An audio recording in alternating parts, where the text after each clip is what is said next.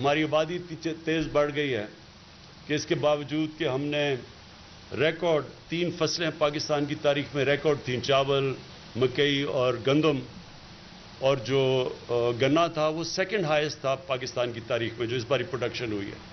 उसके बावजूद हमें इंपोर्ट करना पड़ता है, क्योंकि हमारी आबादी इतनी तेज़ी से फैल चुकी है और इतनी बढ़ चुकी है कि हम अनफॉर्चुनेटली हम अब इम्पोर्टर बन चुके हैं। इसके लिए भी आपके लिए आप एग्रीकल्चर के लिए एक नया एक प्लान लेके आ रहे हैं कि जो हमें, हम अपनी प्रोडक्टिविटी अब बढ़ाएँ, अपने एग्रीकल्चर सेक्टर को हमने रियलाइज़ किया है कि जब तक हम इसके ऊपर अब तवज्जो नहीं देंगे, आगे ये मज़ीद और प्रॉब्लम्स आते रहेंगे। हम हम अपने लोगों के लिए इतना ना अनाज पैदा कर सकते हैं तो उसके लिए हमें और ज़्यादा एग्रीकल्चर के ऊपर प्रोडक्टिविटी के ऊपर काम करना पड़ेगा और वो हम कर रहे हैं। स्वाई चावल के गंदम हमें इंपोर्ट करनी पड़ी हमें दालें इंपोर्ट करनी पड़ती हैं। हम, हमें जो सबसे बड़ा मसला है कुकिंग ऑयल एडिबल ऑयल वो अब हमें इंपोर्ट करना पड़ता है। तो ये जो सारी चीज़ें हम इंपोर्ट करते हैं, इसका अनफॉर्चुनेटली जैसे, और सारी दुनिया में इनकी कीमतें ऊपर चली गई हैं। मेरे ख्याल में आपको ये बता सकेंगे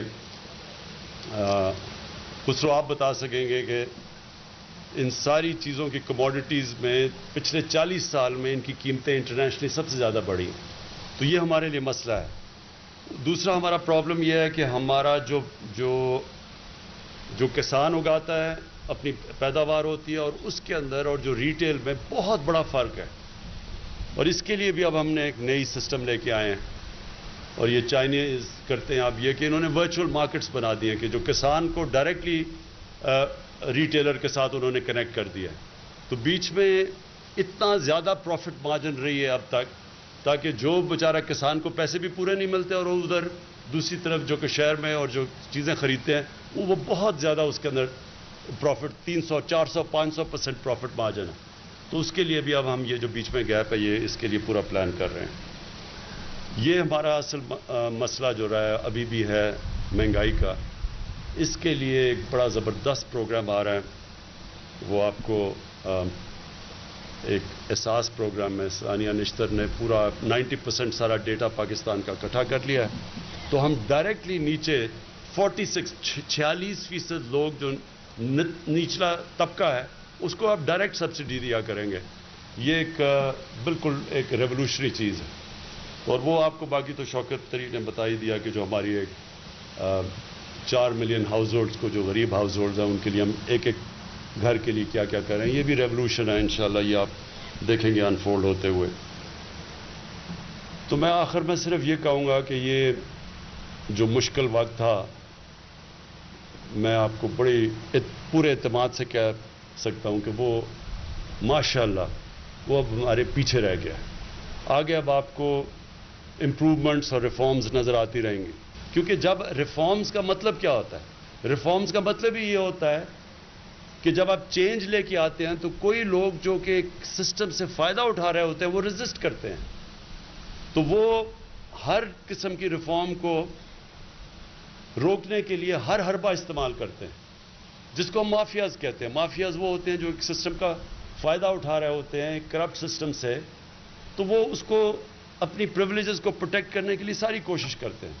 तो जब आपके पास एक स्ट्रॉन्ग गवर्नमेंट नहीं होती वो उसके लिए अभी एक एमटीआई रिफॉर्म्स आई है हॉस्पिटल्स की। अब ये गवर्नमेंट हॉस्पिटल ठीक हो ही नहीं सकते जब तक ये रिफॉर्म नहीं हम करते वो क्यों वो सिंपल मैं ज़रा आपको सिर्फ़ समझाना चाहता हूँ कि आ, ताकि आ, आपको समझ आ जाए कि किस तरह के प्रॉब्लम्स आ गए। अब हमें तीन साल में दो महीने कम रह गए हैं। कोशिश करते रहे एमटीआई रिफॉर्म्स करने के लिए, यानी हॉस्पिटल रिफॉर्म्स के लिए। लेकिन इतनी रेजिस्टेंस है इसके ऊपर। और ये क्या करने की कोशिश कर रहे हैं कि गवर्नमेंट हॉस्पिटल को वो मैनेजमेंट सिस्टम मिल जाए, जो प्राइवेट हॉस्पिटल में है। यानी सजा और जजा हो जाए, जो कि प्राइवेट हॉस्पिटल में क्यों प्राइवेट हॉस्पिटल बेहतर इलाज करता है? वहाँ वहाँ अगर कोई काम करता है तो उसको ऊपर, उसको प्रमोशन मिलती है, जो नहीं करता उसको निकाल देते हैं। गवर्नमेंट हॉस्पिटल में ये नहीं है। इसलिए जो गवर्नमेंट हॉस्पिटल्स का सारा सिस्टम बैठ गया उसको ठीक करने के लिए मैनेजमेंट सिस्टम चेंज करना चाहते हैं कि उनका भी सजा और जजा का सिस्टम हो जो प्राइवेट हॉस्पिटल में। अब तीन साल में दो महीने कम है, अभी तक हम लगे हुए हैं इसको इंप्लीमेंट करने के लिए। इतनी रेजिस्टेंस है इसके लिए। और फिर ये जो पीएमसी इन्होंने निकाला है कि जो मेडिकल कॉलेजेस हैं, इनकी स्टैंडर्ड ठीक की जाए।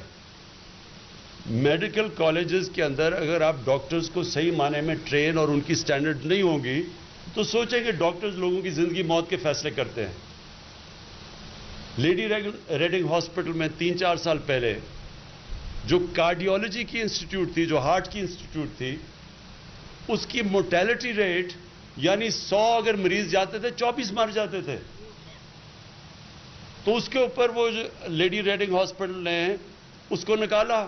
उनकी, उनका एमटीआई उनका बोर्ड ऑफ़ गवर्नेंस था, उन्होंने उसको निकाला। वो जाके स्टे ऑर्डर ले आया। अब खुद सोच ले कि कैसा वो कार्डियोलॉजी इंस्टीट्यूट का डॉक्टर होगा जो 24 मरीज़ मर जाते हैं, सौ में से।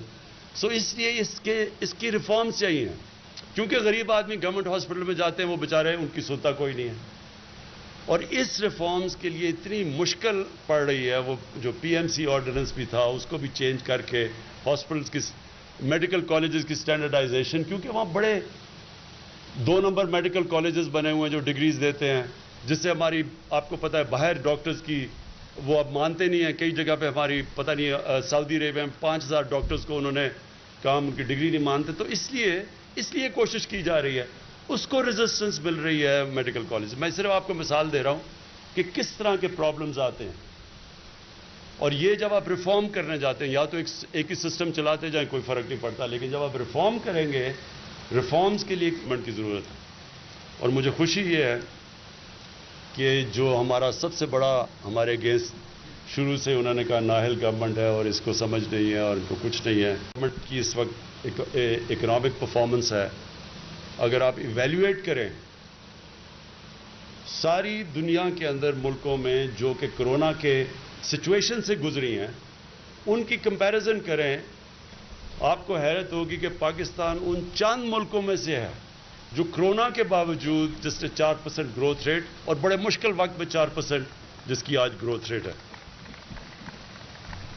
तो मैं आपका फिर से आज आपको खुश आमदेद कहता हूँ यहाँ और आपका ये जो तीन साल में दो महीने रह गए हैं, इसमें जो भी आपने हर सिचुएशन में, मुश्किल वक्त में वोट ऑफ़ कॉन्फिडेंस में हर जगह जब आप सारे आप खड़े हुए हैं, आप सबका भी शुक्रिया करता हूँ और अपने एलाइज का, ख़ास तौर पे मैं अपने एलाइज का शुक्रिया अदा करना चाहता हूँ। हर मुश्किल वक्त पे आप हमारे साथ खड़े हैं। बहुत बहुत शुक्रिया।